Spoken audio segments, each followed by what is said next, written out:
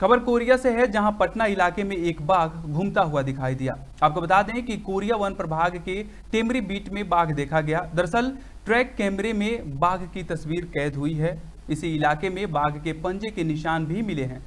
आपको बता दें कि यह घटना 19 अक्टूबर की बताई जा रही है। इसके बाद पटना इलाके के ग्रामीण में दहशत फैल गई है। पांडवपारा कालरी जाने वाले कर्मचारियों में भी दहशत फैल गई है। जानकारी के मुताबिक अब तक इसने दो मवेशियों को मार डाला है। आपको ये भी बता दें कि वन विभाग ने इलाके में अनाउंसमेंट करा दिया है। लोगों को नदी और जंगल में न जाने की हिदायत दी गई है। कोरिया से विशाल सिंह की रिपोर्ट।